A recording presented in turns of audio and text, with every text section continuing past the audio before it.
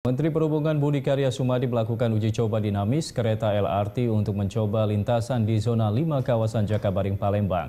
Hal itu dilakukan untuk mendukung perhelatan Asian Games 2018 mendatang.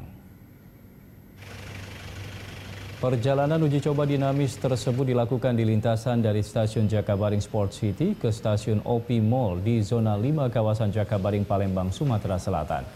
Kedatangan 6 Trainset LRT dari Jawa Timur membutuhkan waktu sebulan sehingga dapat mengoperasikan ke semua lintasan. Budi Karya Sumadi mengatakan bahwa setelah LRT digunakan untuk perhelatan Asian Games, nantinya LRT tersebut juga menjadi investasi terbesar di Palembang. Masyarakat bisa menikmati LRT tersebut dengan tarif Rp5.000 hingga Rp10.000.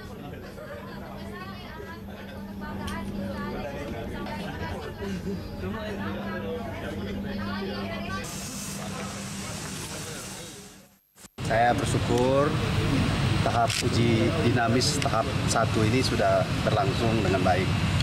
Artinya kerja keras kita selama ini uh, sudah uh, membuahkan hasil ya.